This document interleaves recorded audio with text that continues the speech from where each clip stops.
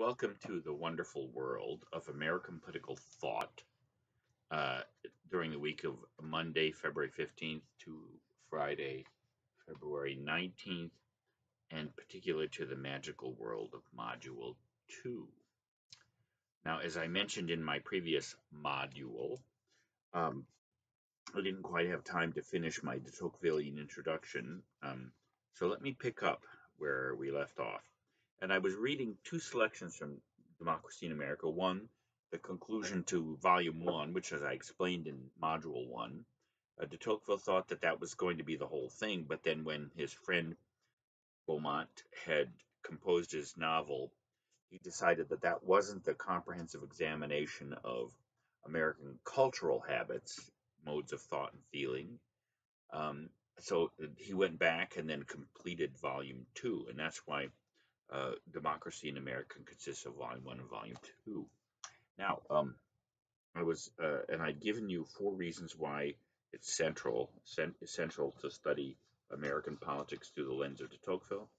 And I, and the last one was his ability to see forward. Now, let me just say then, in volume two, de Tocqueville then examines our the way we think, the way we feel, and express our cultural habits, and how the different aspects of American culture, um, and American behavior are part of our regime, the world of mores, and you'll see uh, that the Tocqueville's distinction between laws and mores, between institutional or explicit political life and the larger life of the um, of the society are actually all aspects of politics.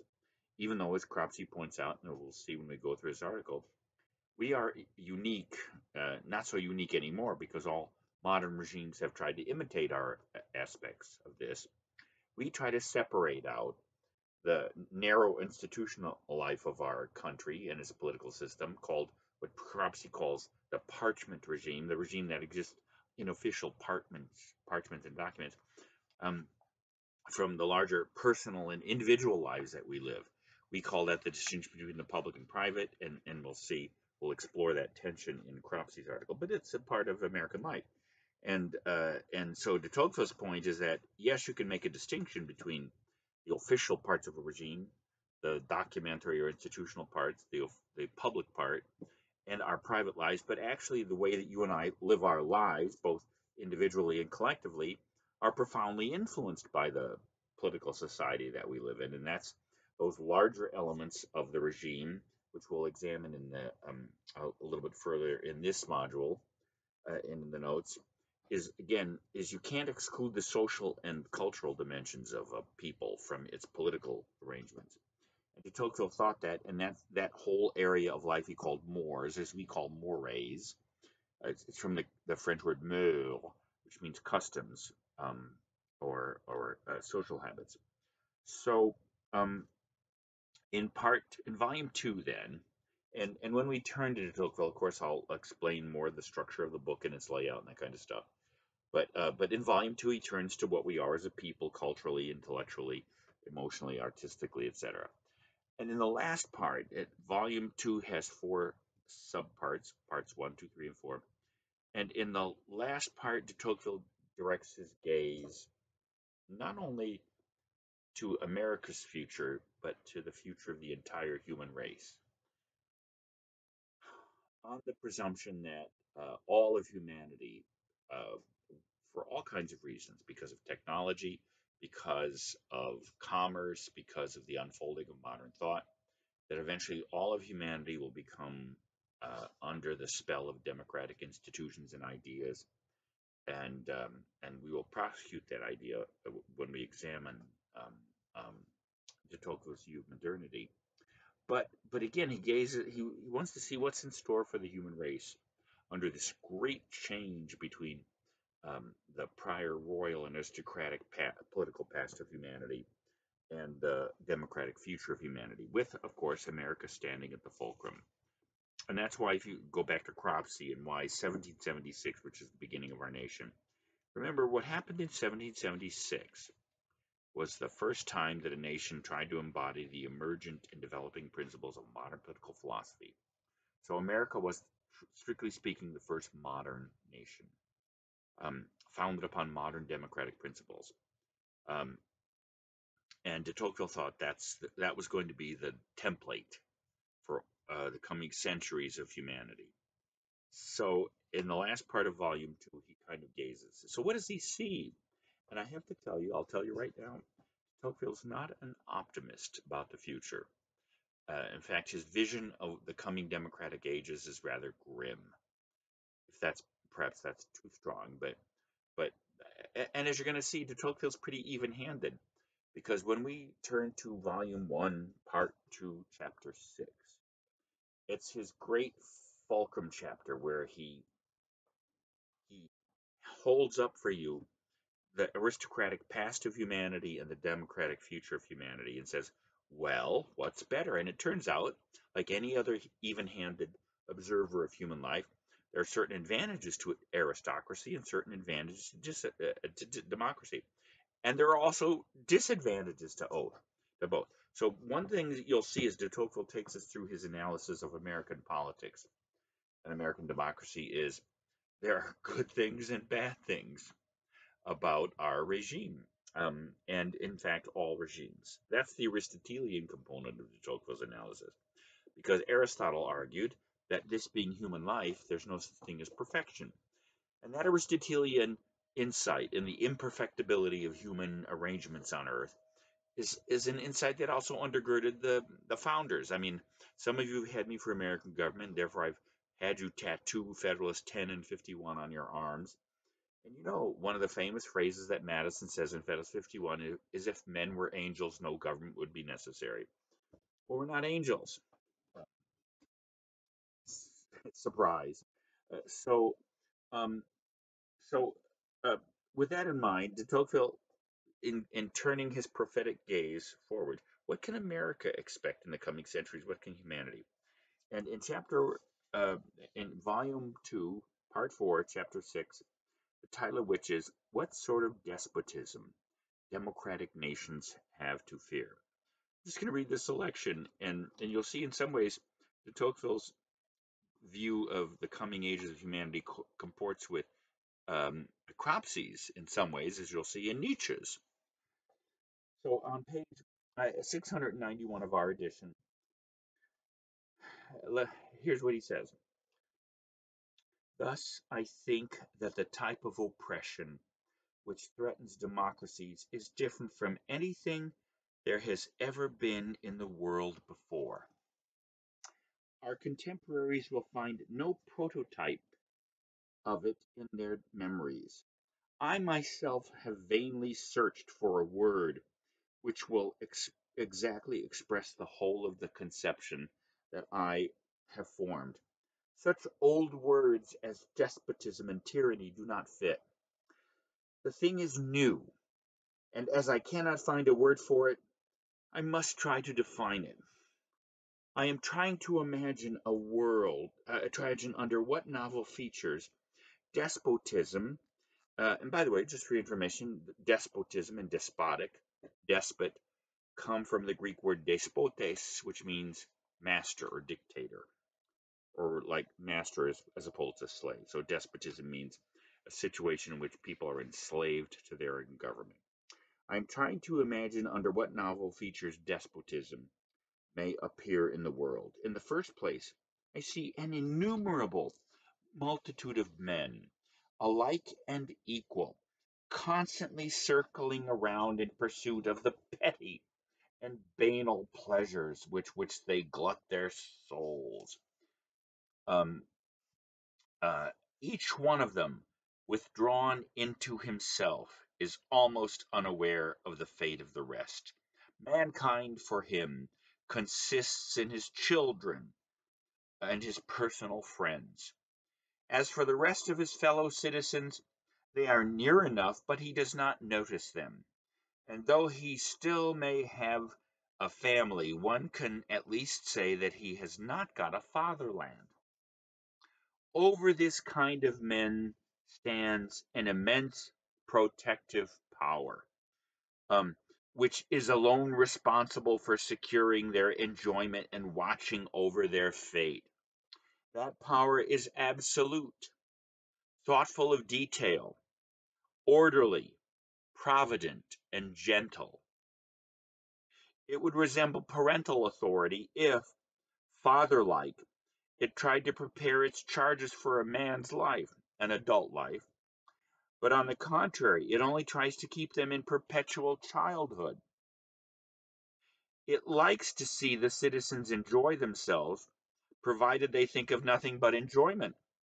It gladly works for their happiness, but it wants to be the sole agent and judge of it.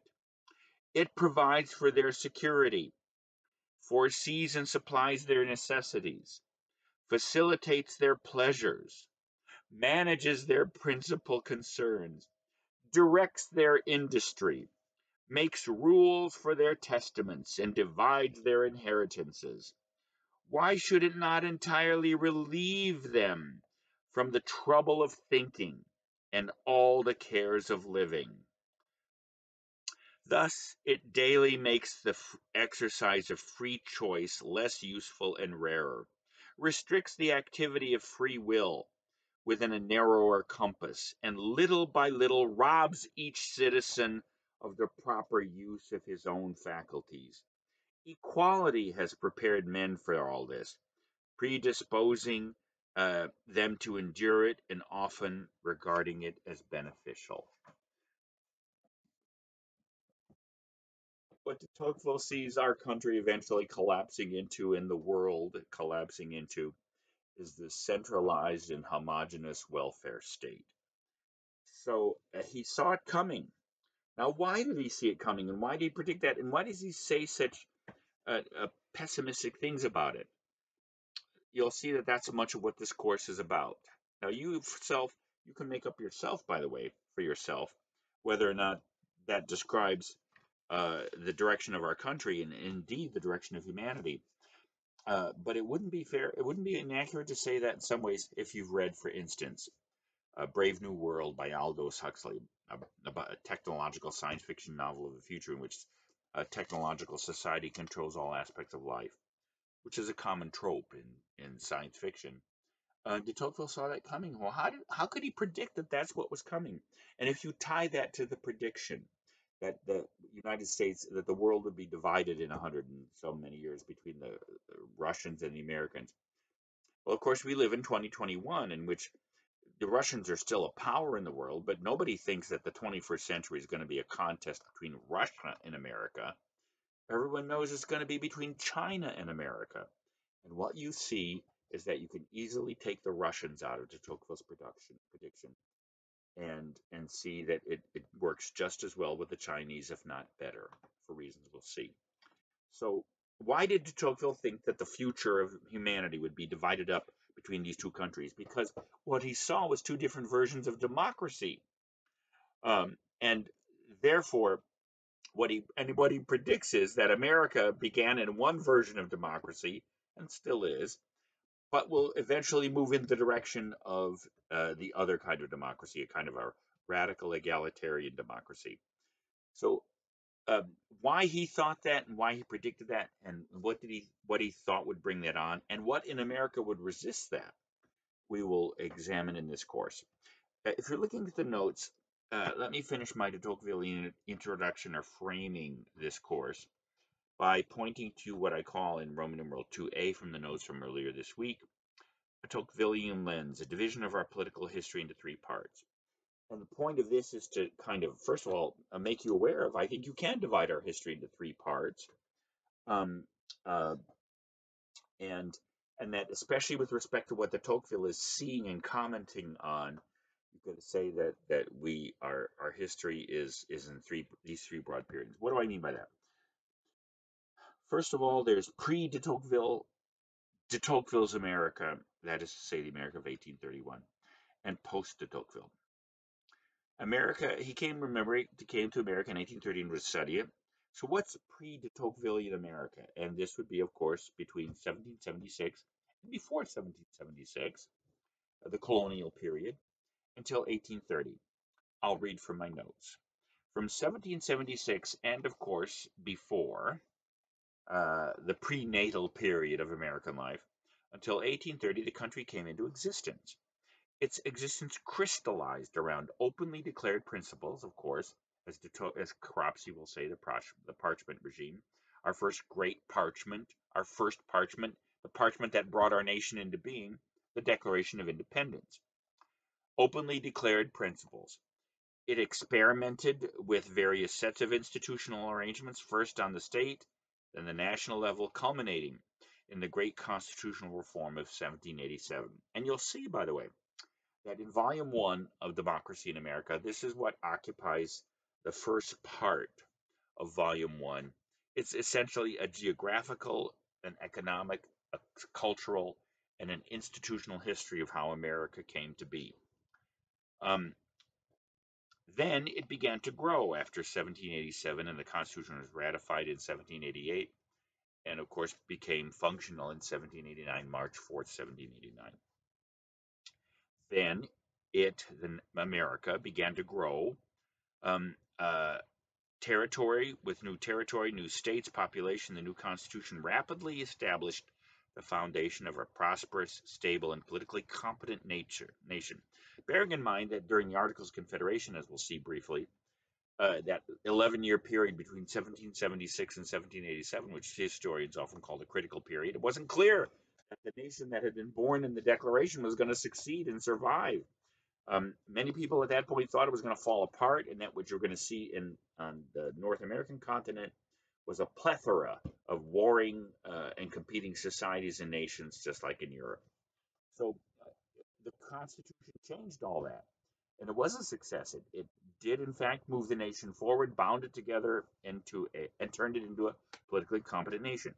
Um, for instance, Hamilton, the first great Secretary of the Treasury, we were a debtor nation, a terrible debtor nation, up until the time when the Constitution went into effect and Washington appointed Hamilton as the Secretary of Treasury Within 10 years, he had not only erased all of America's state, national, and much of the private debt, America had become, in 10 years, one of the wealthiest societies in the world.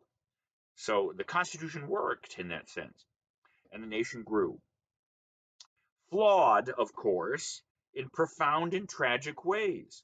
Slavery was embedded in our institutional life and eventually led to the greatest civil conflict in our history. But the nation thrived, producing three generations of a new kind of human being called an American. That's from 1776 and, be, and before up until 1830. So what's de Tocquevillian America? That's from 1831 to 1865 for reasons you'll see. So when de Tocqueville came to study us, we had essentially become what we are as a regime. More about what a regime is in the second part of this second module, um, um, he foresaw a, na a, national war over race and, and generated in the tension between the slave and non-slave portions of the country. Um, although he did not, it did not quite unfold in the anticipated, as you're going to see in uh, Volume 1, Part 2, Chapter 10. He thought there would probably be a war, but between the races. Um, so, um, uh, as you're going to see, he foresaw that the question of slavery would be the great question that would tear the nation apart, but in different ways than he had foreseen. Um, uh, he also foresaw the expansion of the nation's population and territory and the growth of national government in terms of administrative centralization and control of the nation's life. As you're going to see, that, that last part from the conclusion of volume one that I read earlier in module one, when he perceives this vast continental nation of millions, hundreds of millions of people swarming all over the place and uh, getting in line for a Chick fil A chicken in the morning. Um, uh, he, he predicted that we would become a great and continental nation. Um, but he thought that that nation we had uh, had become could end this is what remember he came to this country to see how democracy in America worked so that he could take that report back to Europe and can persuade the the generation of his day that that they shouldn't resist democracy. They should welcome it because America showed that democracy could work as a decent and stable system of government. Um, uh, and that's what that's why he came here and that's what he reported. Um, he thought that America could stand as a as an example of decent democracy to a Europe and a world that had seen democracy as the French Revolution, which meant, as we saw, chaos, mob rule, evaporation of individual dignity, and the rule of law.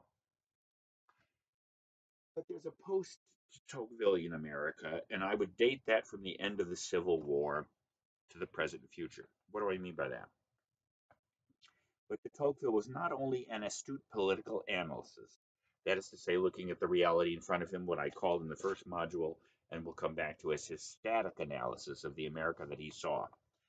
Um, he was a philosopher, as I've tried to suggest, of near great rank, uh, and understood human nature and its conditions with profound and uncanny insight. He grasped the novel character of modern democracy, and what that is, we will come to understand much more fully, and saw how it would come to evolve in America or decay, and therefore saw in the future of America the future of humanity. His analysis of America folds unfolds into prophecy. Now, what do I mean by a post Tocqueville America? Because what did, the, the Civil War did change our, our nation and constitution. Um, first of all, um, uh, even though I, I argue in, uh, uh, that, and we'll see this reflected in the Storing book about the nature of the founding, the tension between the Articles of Confederation and what kind, what kind of change occurred between the Articles and the Constitution. Um, to be brief and schematic, the Articles set up a confederation of sovereign states. The Constitution destroyed that old arrangement and created a national union of semi sovereign states. Now, we're going to explore what that complicated word means semi sovereign. Um, and we'll see that in some ways the situation that de Tocqueville saw in 1830 um, was this interesting mix of semi-sovereign states and a sovereign nation. It's clear that the Civil War in some ways destroyed that. And don't forget, now don't get me wrong, the states still possess that kind of residual semi-sovereignty. But there's no question that in destroying uh, the, the Confederate States of America, uh, the national government assumed a military and an administrative power over the nation that in some ways he did see coming and did predict as the future of our country. But you'd have to say that the constitutional change that came in as a result of the war wasn't the 13th Amendment that eliminated slavery, that was important enough, but the 14th Amendment, which uh, uh, uh, was came into effect because, of course, the former Confederate states refused to embody the regime change that the elimination of slavery had promised. And so the 14th Amendment uh, put the civil rights and definition of state citizens under the administration of the federal government. And that has consolidated the power of the federal government, as has, for instance, the growth of national commerce. And so, as you're going to see, uh, a theme that de Tocqueville introduces as a, a, part of his dynamic analysis in uh, part one is this question of centralization and decentralization. And he predicted that the course of modern American government in the future and all democracy would be towards administrative centralization and the greater and greater assumption of the functions of society into the regular, regulatory um, and welfare dispensing apparatus of the state. So um, that's uh, that's why I think de Tocqueville is critical for understanding American politics, both in terms of what he saw at his time and the enduring elements of American life that he analyzed, and also how he predicted the unfolding of our institutional life. So let me uh, spend the rest of this module then turning in the notes, because on my in the Zoom session I thought I did okay an okay job of of showing how I would use the lens of race as as the link between de Tocqueville's analysis and the founding, for that matter, and the completion of this course with the six authors that we'll read at the end. A seminar on how race and slavery in the founding played out, how it's anal- analyzed in de Tocqueville's work, and how it still lives out in our life today. Um, so let me um, uh, let me do a kind of uh, in this one a broad introduction to cropsey, but then um, postpone our our more um, uh, detailed discussion of the elements and structure of his article uh, until the third module uh, coming down the chute. Um, so uh, note, Cropsey begins his analysis of American life with observing uh, two uh, separate but related puzzles that Americans seem to be in a constant state of flux and uncertainty about what we stand for as a nation, at the same time that we seem to be involved in an intense form of self criticism in which we don't like what we are. So we don't know what we are and we don't like what we are. That's the two beginning points of Cropsey's unfolding of his article.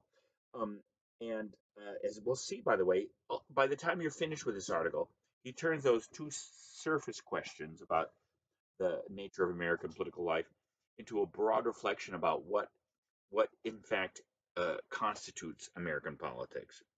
Um, and and uh, and in particular, as you're going to see, the question that that he kind of morphs these two surface questions into is not only um, uh, where America has come from and what are its constituent elements that lead up to our country, and what are the elements of American politics as they've unfolded. He turns the great question in his essay is is is is American politics when you look at us overall and as historically, are we a jumble of uncoordinated elements, just a chance story of historical events unfolding, or is American politics a whole with coherent parts? And moreover, is there a coherent pattern to the unfolding of American politics, so much so that you can explain in broad strokes uh, what has happened and what will happen. Again, it's almost as if he's looking for the sheet music of, of American political life. So um, uh, um, I'll talk a little bit about his method uh, and and and how he how he works as an author and writer. A little bit more about him in the third module when we start unpacking his article, and that will probably take us into uh, some of our discussion in our next Zoom session on Monday night. But uh, one question he says is, how much of this dynamic that he's isolated, the fact that Americans are in constant uncertainty about what we stand for as a nation, at the same time that we're constantly self-loathing and critical of ourselves. We don't know what we are and we don't like what we are. Again, those are the two questions he begins with. And, and since the title of the essay is The United States as Regime, uh, it's let me finish the rest of this module then explaining what the concept of regime is. Now, if you've had ancient political philosophy to some degree, if you've had modern political philosophy, or even American government, I've talked about this concept many times because it's the key to my understanding of the study of politics as a political theorist or political scientist. So, um, if you're looking at the notes, this is on the second page at the top. So, uh, what is a regime? When it, when it, when Cropsey writes his essay, "The United States as Regime," what does that mean? What is, what is a regime? Well, again, uh, let's begin conceptually, definitionally, and then analytically. The regime, uh, and first of all, let's describe the word regime and the two other synonyms that exist for it in England and where English and where they came from. Regime is a French word that comes from the French word regime, which derives from the Latin word rex, which is the word for king. And the reason it gets to regime and regular, uh, like royal and these kinds of things, all these words come from Latin. And it has to do with the way that Latin unfolds, that when you have a word like rex or dux, which is leader, uh, in when you go through the different uh, uh declinations of the noun, in their older forms it comes out and it turns out the root of the latin word rex uh, is actually reg and actually this goes back to ancient indo-european because it turns out the sanskrit word for king is raja which also uh, uh, obviously is related, related to this latin word. So the regime is the ruling thing the thing that rules the kingly thing that, that keeps things in order. The second word that is uh, uh, uh, synonymous with it is the Latin word constitution, and that comes from um, uh, the Latin word stare is the root, as the same as institution Constitution. Stare means to stand. It's where our word stand und stehen auf Deutsch comes from. Um, and and the difference between institution, which means to set up, or institute means to erect or put together, or to set up would be the better word. Um, constitution comes from the Latin prefix cons, like in Spanish con, which comes from the prefix cum, which in Latin means with or together. So a constitution is an arrangement of institutions that hold the political system together. The third term comes from Greek, which is the source of much of our political vocabulary. Polity, polity which is actually a, a cognate.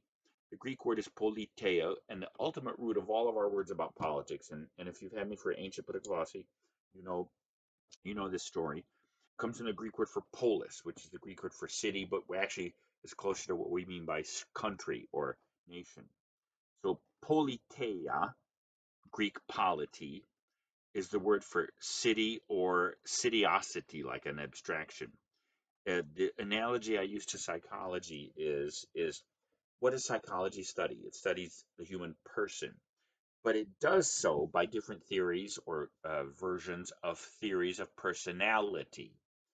What is personality? It's the ality that makes you a person. And what psychology does in the study of personality is to try to generate, for instance, typologies of personal personality types. So as to do what?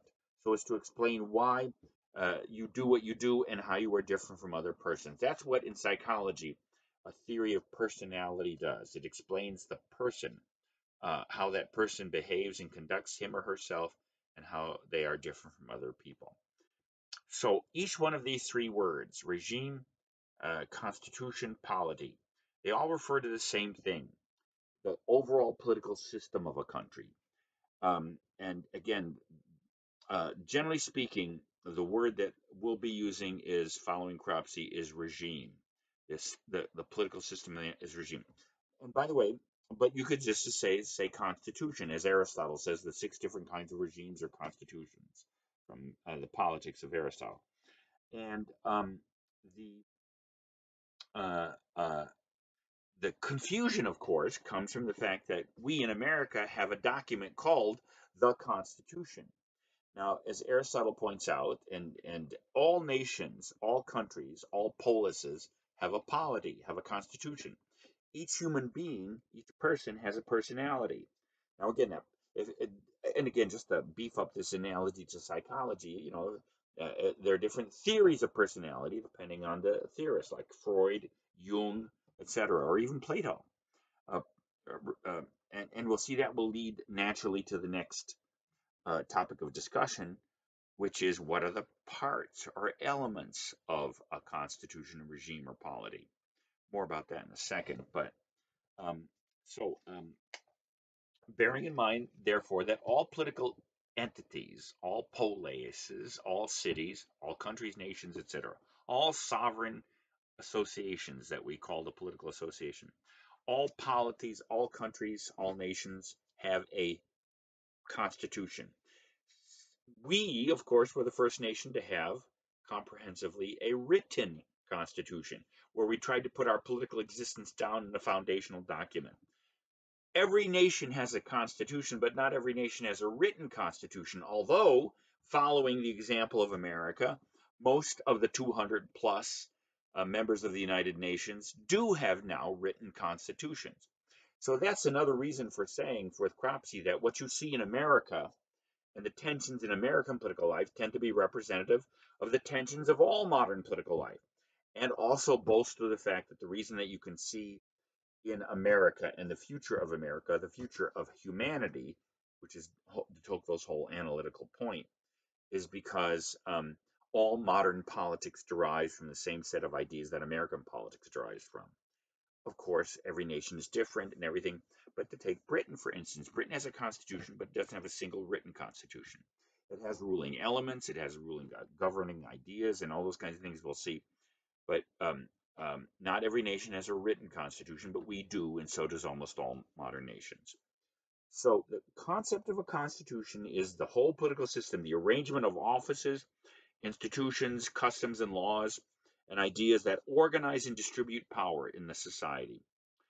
Um, again, like the theory of personality answers in psychology, it explains why that particular type of person does what he or she does.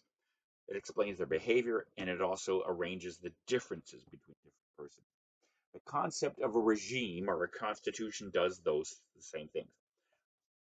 The constitution of a nation, its regime, its polity explains why that people in that nation behave politically the way they do, and it explains why that nation is different politically from another nation. So this concept is central to my understanding of political science. We will spend the bulk of our time in this class examining the nature, construction, and unfolding of the American Constitution regime or, or system of government. So just to follow this analogy to personality theory a, a bit, if you're a Freudian, for instance, you see the human beings in front of you and you say, ah, what explains what they do is because their personality has three parts and elements. And if you have studied this psychology, you know that Freud thought that you were composed of three things the ego, the id, and the superego. Now, those of you that have had Dr. Dunn in class know what a superego is, but let's not go there. So, what did Freud mean by saying that the human personality was divided into three elements or functions? Well, there's the id, the part of our animal nature's instincts and, and drives that essentially are the real source of our behavior. Having uh, the, the idea that our human identity was just an overlay over our animal behavior. And then there's this thing called the super ego, which Freud thought was our inherited and embodied notions of right and wrong that we absorb from our parents and uh, our society. Um, and and of course the problem is is our, we absorb we absorb our sense of how to behave morally from our parents and society and our religions and all that stuff, which of course are an attempt to stuff our animal instincts and drives back in the jar and behave better than the, our pets. Although I think our pets tend to behave better than we do, nevertheless. So Freud thought that there was this mediating consciousness of the self or the ego. Ego is just the Latin word for I. And that's how Freud explained the parts of personality. If you're Jungian, following Carl Jung, or, or, different other theorists, or Plato, Plato thought the three parts of the soul, if you have an ancient political philosophy, are of course um, uh, uh, uh, eros, thumos, and logos. Animal desires, spirited love of honor and connectedness with society, and um, and the rational consciousness. Freud just didn't, you know, yank his three parts of human personality out of nowhere. He of course, um, was a, a, a, scholarly person, and but of course, you see what I mean. So, if, if personality is to person what constitution is to a nation, what are the elements of a political system? Now, again, this is critical for us understanding the American political system and American politics, and um, and but it's also critical for the the specific issue of addressing the contemporary controversies of race as I said in my in our Zoom discussion, and asked some of you, and in fact, I, I, I asked a question of all of you, which just jot down a paragraph or so and answer. If you believe that the concept of systemic racism or white supremacy, which are uh, uh, weighted terms that are have become essential elements of our contemporary conversation about race, um, if you believe that characterizes American politics, do you think it does so because we are a democracy or because we have failed to be a democracy? You will see as this course unfolds why I ask that question that way, even if you don't understand it now. But what I'd like you to do is before the end of the week or before our session on Monday, is at least uh, try to answer that in some coherent thought and get it back to me so I can use it as part of our discussion. Now, um, so in order to raise the question of whether there is such a thing as systemic racism, this was the point I was making on Tuesday, is you have to talk about what the political system is. So what are the parts of a political system? And it turns out there are four parts going back to Aristotle and Plato and to Tocqueville too.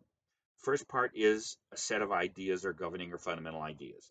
Shared view of human beings that provide the standards of justice, the goals of the nation. Every nation has certain governing fundamental sharing ideas and the sharing of those ideals, every time you say the Pledge of Allegiance means you're standing up and you're believing in American ideals. uh, and following Cropsey, we have a document that states those ideas called the Declaration of Independence. It's the part that starts, we hold these truths to be self-evident. We as Americans hold these truths. And what's the first thing you learn? That all men are created equal. And so, uh, as you're going to see, to some degree, that's what all modern democracies agree on, the notion of human equality. Second, each set, each political system has a set of institutions that are embodiments of the governing ideas. Um, and they explain how structure, power is structured and arranged. You can see that in the Constitution. We have another document that does that. Um, third, those structures that embody the core ideas then govern. They pass laws and policies. It, they are the laws and policies of a political system are the regime in action. Um, uh, for instance, the debate over the minimum wage. Why does that even appeal to human beings? It's because it raises the sense in which people are or should be or shouldn't be politically or economically equal. Uh, clearly, the minimum wage is an attempt to build in practice in the economic life of the country a certain kind of equality. So, so nations exist first as a set of shared concepts and ideas. Uh, and you're going to see the big change from ancient aristocracy to modern democracy is all aristocracies are based on the idea that human beings are not equal, that some human beings are superior to others. Uh, aristocracy comes from the Greek word aristos, which means the best. And so um, uh, modern democracy begins with the assumption and the proclamation of human equality. The, Constitution, for instance, people think that, for instance, the Constitution required you to be white, male, and a property owner. The Constitution actually says nothing about all those things. It was the first and most democratic Constitution in the history of the world. Because, for instance, to be a member of the House of Representatives, what are you required? You have to be 25 years old. You have to be a citizen for seven years, and and um, and live in the state where you represent. No discussion of property. No discussion of line or nobility no discussion of gender. In fact, uh, the only office in the Constitution that is restrict that is that in which any human being on earth couldn't occupy is the presidency and vice presidency, since you have to be a native born citizen. But any human being born on earth can not only become an American citizen, can occupy so that's pretty democratic because of the the Constitution embodies the ideals of the Declaration, not perfectly, of course. Third, we are governed by those laws. And last, the last part of the regime that we have a tendency either to exclude to the private realm, as, as Cropsey points out, or uh, uh, or or shovel off to sociology or culture, is the customs and and actual kinds of human beings and characters that living in that country produces. Um, uh, so uh, I said my mother in action in the notes. It's because uh, my mother was at paid is bless her heart she's still alive as of this evening. Um, and and she was an american and she loved her country and she made sure that we not only like washed our faces and changed our clothes but she taught us the pledge of allegiance she taught us what it meant to be an american. So and again americans wear blue jeans and and um, they say things like have a nice day so Americans are actually not just a, an institutional phenomenon, they're a cultural phenomenon. All those four parts of political life, the core ideas, the governing and structural institutions, the laws and policies, and the kind of human beings that inhabit the place culturally are what constitutes the political system of a nation. And in the third module of this uh, uh, session, we'll explore how Cropsey then Uh, directs our attention to the nature of the United States regime, its tensions, and its unfolding.